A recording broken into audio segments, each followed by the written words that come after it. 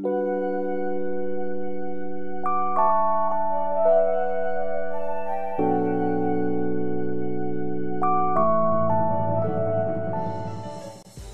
yang menceritakan seorang pemuda tampan memiliki kekuatan unik dari warisan leluhur sebelumnya. Dikarenakan hanya dia yang memiliki seorang diri, lantas saja membuat semua orang ingin memburu kepalanya.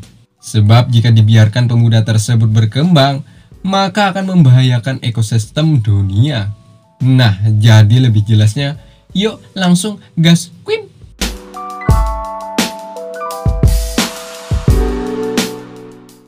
Film dibuka dengan memperlihatkan Pak Tua dan seorang pemuda, di mana Pak Tua tersebut kesehariannya hanya bercerita tentang kekacauan dunia. Ya, hanya dengan itulah Pak Tua tersebut mendapatkan cuan untuk kebutuhan hidupnya. Isi cerita sebagai berikut. Dunia bela diri adalah anugerah, makanan sebagai penunjang hidup, air sebagai mata air. Dunia bela diri berisi kebencian, agar tidak berpisah bepergian ribuan mil karena tak saling bertemu, hidup dalam penyamaran. Dunia bela diri adalah cinta, senyum, penuh harapan untuk pergerakan nasional. Bahkan pahlawan memiliki kelemahan pada wanita cantik. Ketika bertemu, kau mati dan aku hidup. Tetapi dunia bela diri bukan hanya keluhan dan kebencian, masih ada kesenangan menunggangi kuda melawan angin, keagungan yang bebas dan mudah. Meskipun ribuan orang telah meninggalkan kebanggaannya.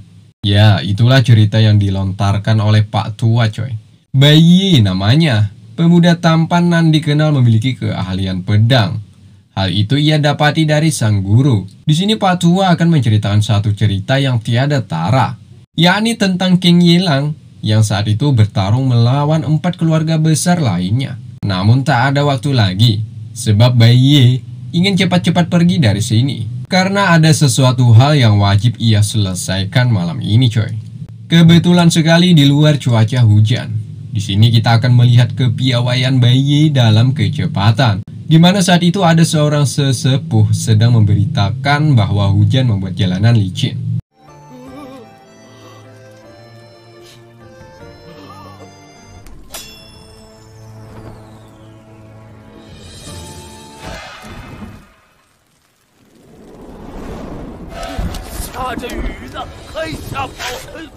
Singkat cerita, Bayi sudah berada di atas genteng. Dirinya menunggu kedatangan King Yelang. Ya, King Yelang adalah seorang pemuda yang saat ini sedang menjadi tawanan para musuh. Bayi rencananya akan menyelamatkan Kang Ye seperti mana yang telah diamanatkan oleh gurunya. By the way, pemuda itu memiliki sebuah wasiat rahasia coy. Sehingga membuat beberapa aliansi ingin merebutkannya. Nah, Kang Yelang ialah yang disebutkan oleh Pak Tua di awal film tadi. Sementara di lain sisi ada Feng Zhou, sedang mengemudi kereta kencana.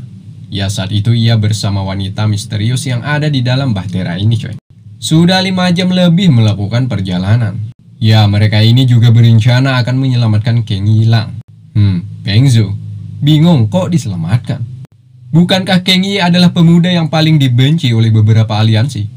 Sampai sini Feng Zhou tidak mengetahui alasan kenapa sesosok wanita misterius ini ingin menyelamatkannya. Ya, hal itu tidak lain tidak bukan karena ingin merebut surat wasiat yang ada pada tangan Kang Yilang coy. Bai saat itu melihat ada sebuah kereta kencana di mana di dalam ada Kang Ye sedang terbaring lemah.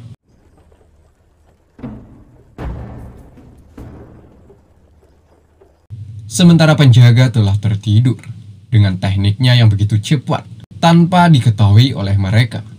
Dengan sekejap bayi sudah berada di dalam kereta tersebut.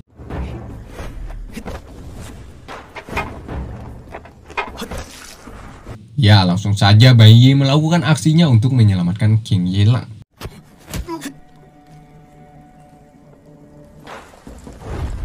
Sementara tak lama dari itu, Feng Zhou juga datang menghentikan mereka. By the way, para bandit ini berasal dari keluarga Wang coy. Di sini sempat terjadi cekcok di antara mereka berdua.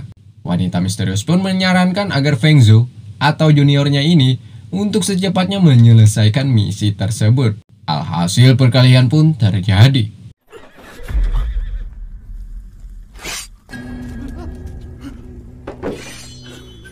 Fengzo menggunakan teknik pedang angin besar mampu membuat pertahanan para bandit ini kewalahan.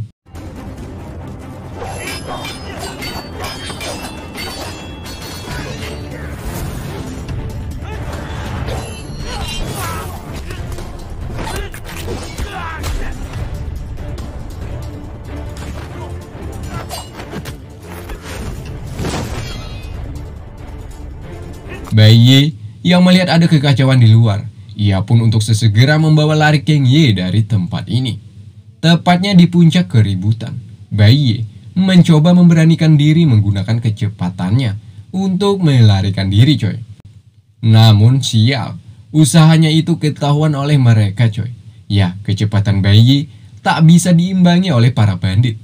Tapi tidak dengan wanita misterius ini dengan cepat wanita ini mampu mengimbangi kecepatan bayi. Namanya CR. Ke mana bayi lari di situ CR berada.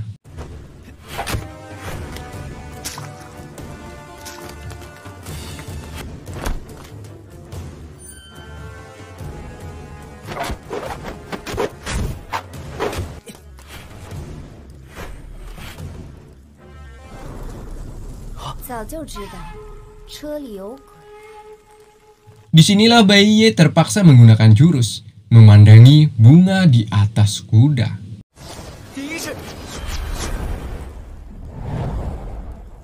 Ya, kecepatan itu mampu membuat si Er kehilangan kesadaran akan bunga-bunga sakura. Namun dengan itu juga, identitas Bayi sebenarnya telah ketahuan si Er. Tepatnya di pelarian, Bayi masih sempat menyelamatkan nyawa dengan menyembuhkan racun di dalam diri Kang Yi. Setelah cukup lama, mereka sudah berada di atas gedung. Di sini setelah bercerita banyak, akhirnya Kang Ye mengetahui bahwa pemuda yang ada di hadapannya ini adalah utusan dari paman ketujuh, yakni Guru Bayi. Kang Ye pun tanpa keraguan memberikan surat wasiat kepada Bayi. Ia meminta untuk diserahkan kepada paman ketujuh. Dan satu lagi yang paling utama, Kang Ye mengingatkan untuk tidak membuka apalagi mempelajari teknik yang ada di surat tersebut jika kelak nasib bayi tak ingin sama dengannya. Nah, sampai sini akhirnya kita mengetahui bahwa isi surat wasiat tersebut adalah sesuatu benda yang akan menjadi malapetaka bagi yang mempelajarinya. Sedikit info coy. Di sini yang perlu kalian ingat, Bayi sempat membaca isi surat tersebut, padahal sudah diingatkan untuk tidak membuka, apalagi sampai mempelajarinya. Singkat cerita, si E mengetahui keberadaan bayi dan sudah berada di depannya. Ya, kedatangannya itu membuat pertikaian di antara mereka. Tapi sayangnya coy, bayi masih kalah cepat dibandingkan si E. Alhasil pedang bayi mampu ia rebut dengan mudah.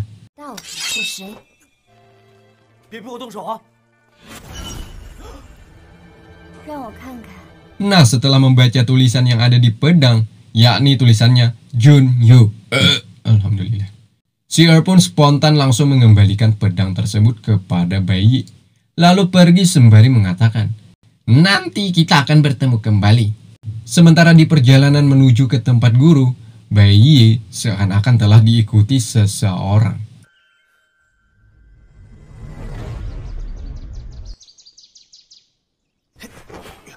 Sesampainya, bayi langsung memperlihatkan surat wasiat kepada guru bahwa surat ini ingin diserahkan kepadanya. By the way, nama gurunya Kan Hua.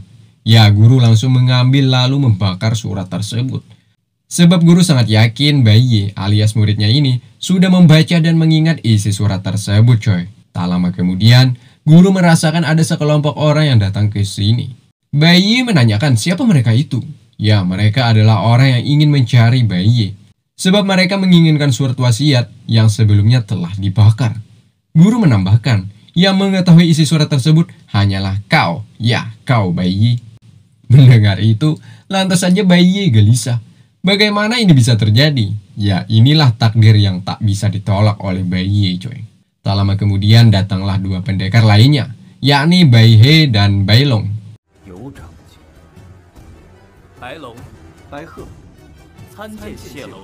Dengan tekniknya yakni jurus melihat bunga dalam kabut, Gurukan Hua mampu meladeni bahkan mengungguli kemampuan dua sejoli ini coy.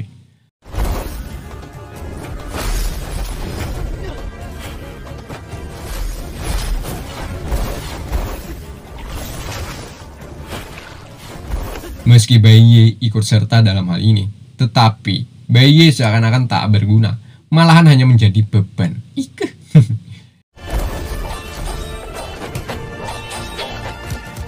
Ya rupanya kedua orang ini pandai melakukan teknik ilusi. Seakan-akan mereka kalah, nyatanya mereka masih hidup. Ya benar, sepertinya di atas genteng Roma ada pemimpin mereka yang siap menyerang ke arah mereka berdua coy. Namanya Helian Sio.